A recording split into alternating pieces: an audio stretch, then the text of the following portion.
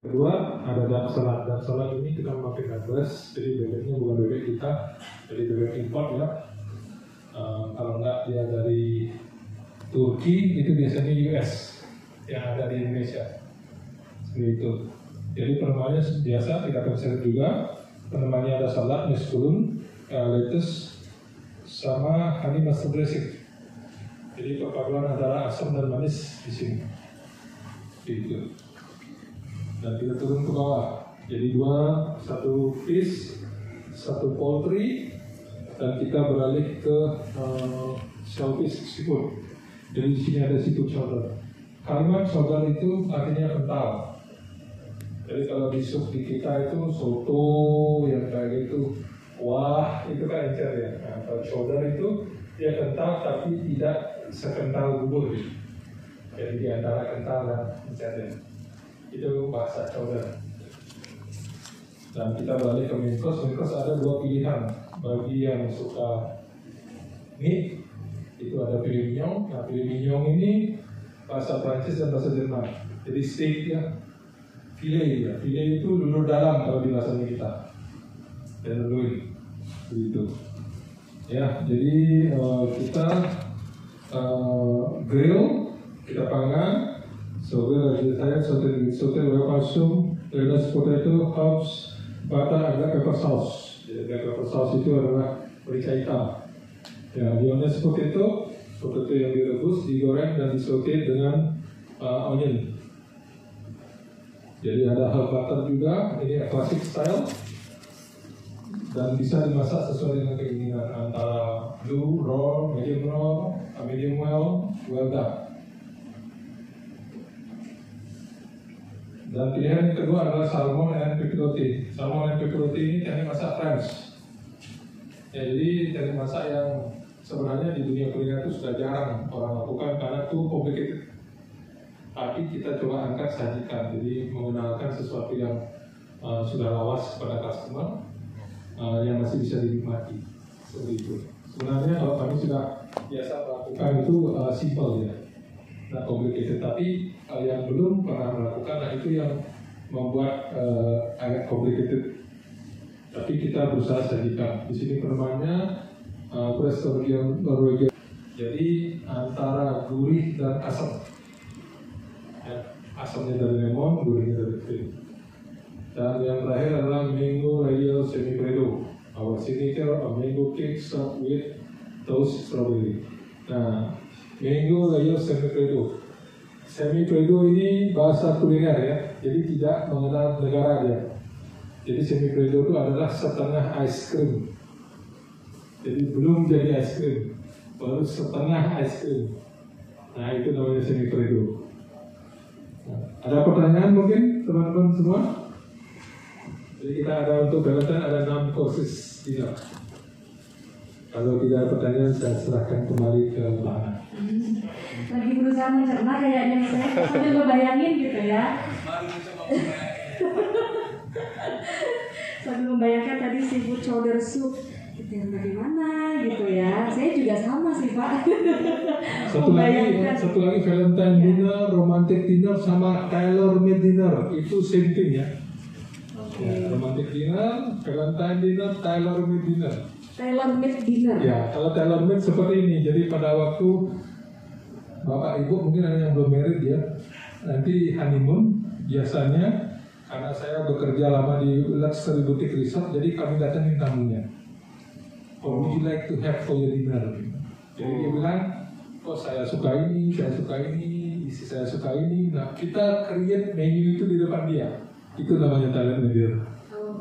Seperti itu. Ya, jadi menyajikan experience yang different. Kalau Valentine kita sudah sediakan menunya, kalau tailor made kita create menunya di depan tamu seperti itu. Ya. Wow. Dan apa pun yang tamu minta berarti harus ready ya chef? Yes. Ada daging, ada cumi, ada udang, sama ada ayam. Cuma teknik masaknya adalah bergilir ya. Jadi apa yang kita kecil ini kan tidak bisa semua. Jadi kita mulai dari ayam.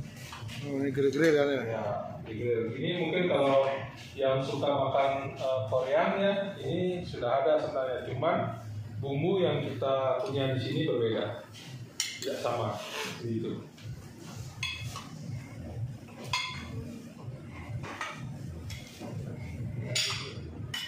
Jadi sayurnya pun berbagai macam ya, ada pumpkin, ada terong, ada uh, bell pepper juga. Ada cabenya, paprika, dan ada tadi sedikit. Ya, sudah sudah mulai panas ya. Nah, Sudah mulai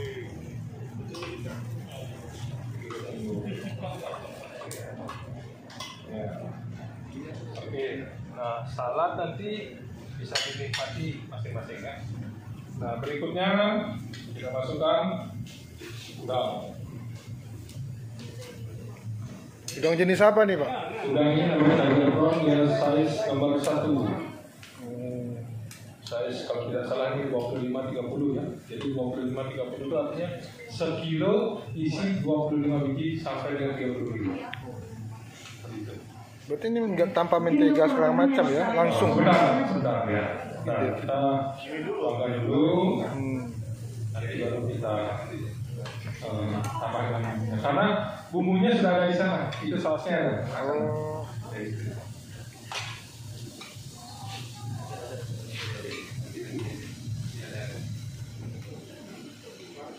Oh, nah, untuk membuat dia gurih biasanya ya. Boleh boleh. Eh, nah setelah masuk semua. Hah? Oh, nah untuk butter ini kan buat gurih dia ya jadi untuk terakhir setelah masuk semua baru kita masukkan butternya. Oh. Kenapa kita masukkan terakhir? Karena butter ini gampang gosong. Nah, kayak gitu. Jadi nanti terakhir aja. Terakhir aja dimasukkan untuk uh, butter ini. Gitu.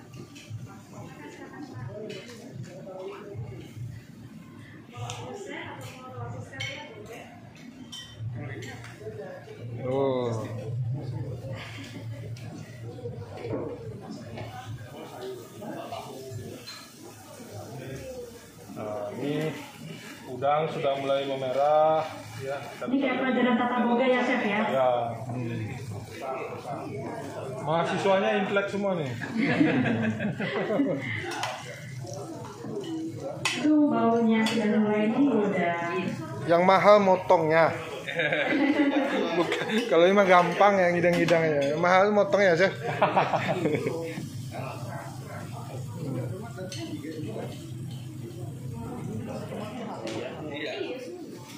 Biasanya bagusnya berapa menit tuh kayak udang. Biar mereka takutnya kita terlalu Kalau kalau sayuran itu paling enggak eh, 15 menit bisa matangnya karena kalau sayurannya kan keras menit.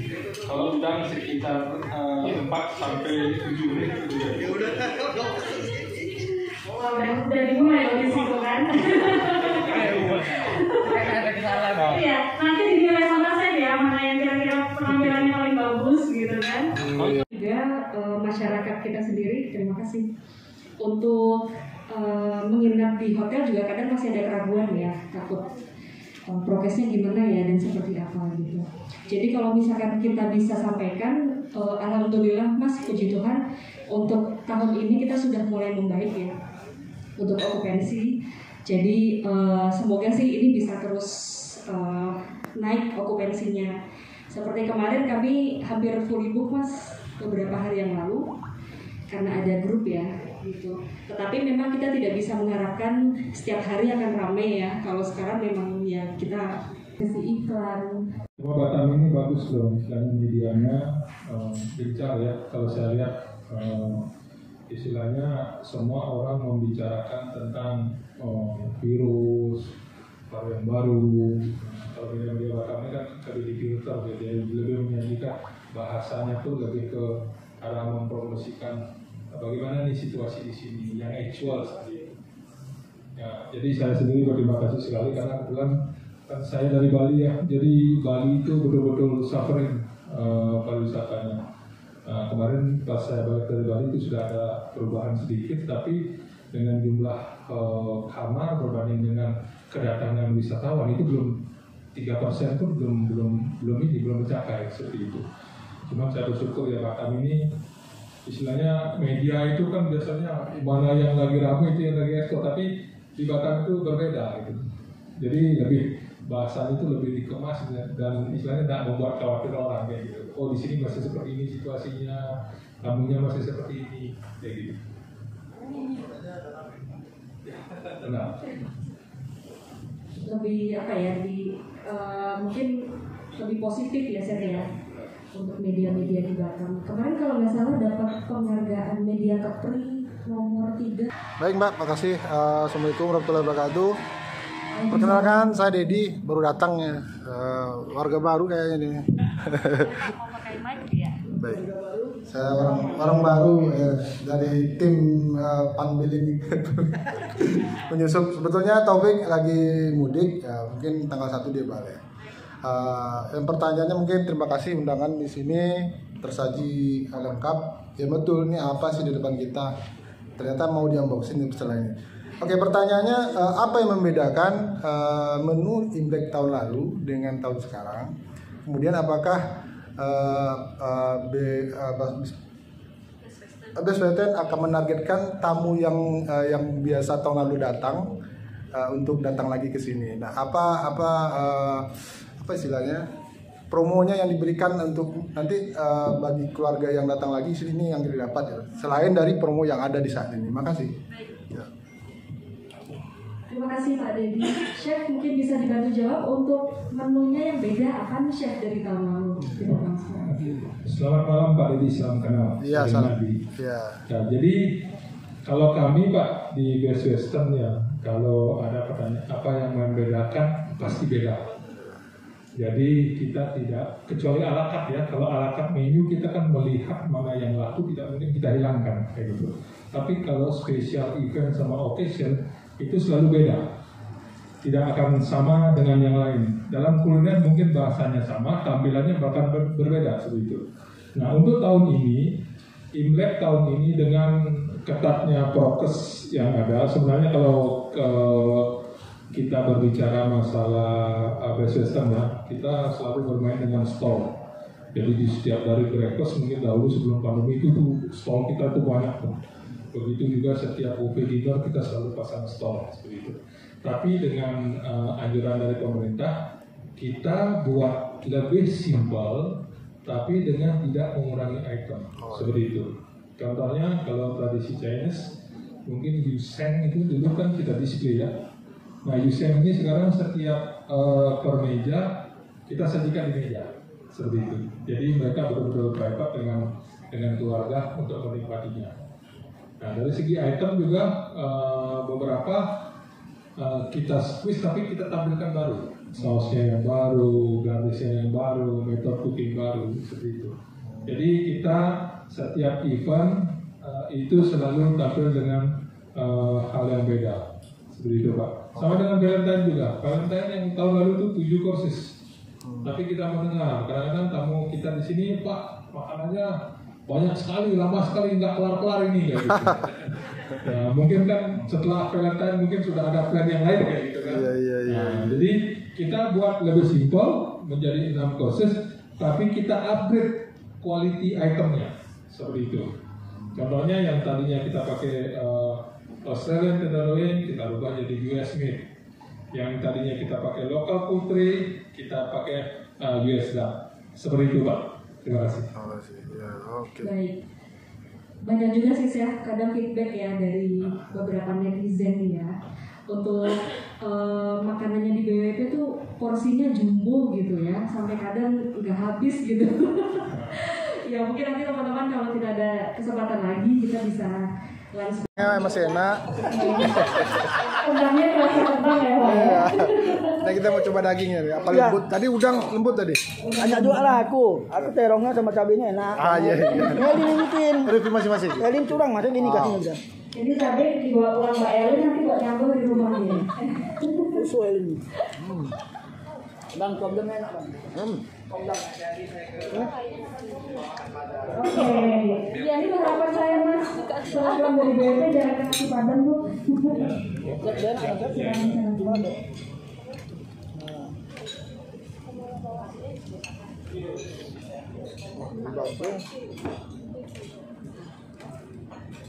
Mati ya lampu.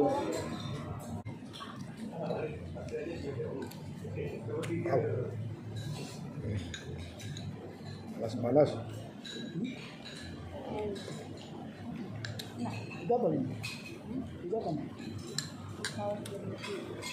Saus ya. Tom yumnya. Untuk sini. Oh.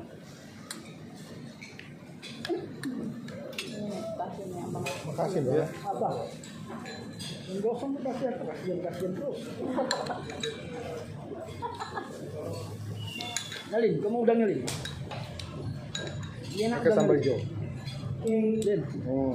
Teman-teman kita izin izin ambil foto ya, karena kebetulan chef eh, harus buru-buru pergi ya ke tempat selanjutnya. Jadi kita foto bareng dulu boleh ya? Oh iya. boleh boleh. Oke, boleh menghadap ke kamera.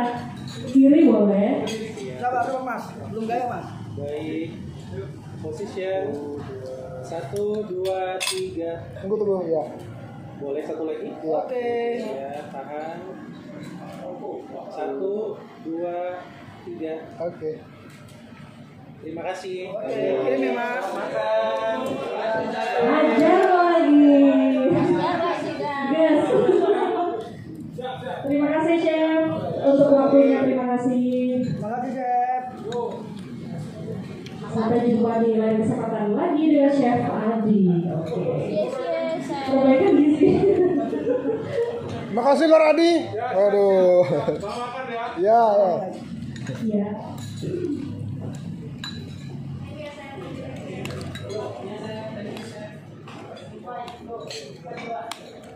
Lord Adi kiranya.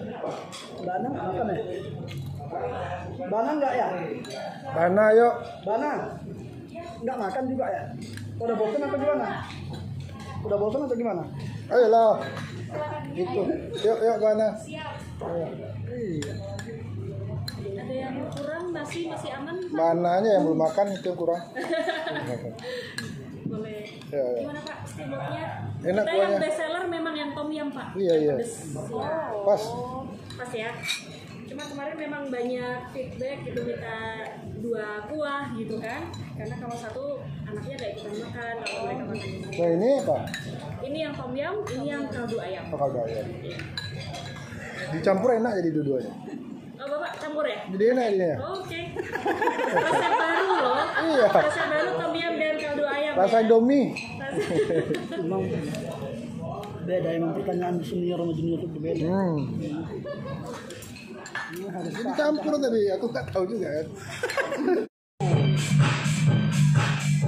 Selamat malam Batam.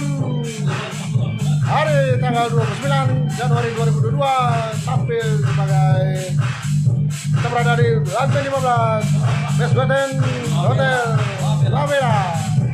Kita melihat suasana yang meriah. Yeay! Itu rumah Pak John Kennedy. Oke.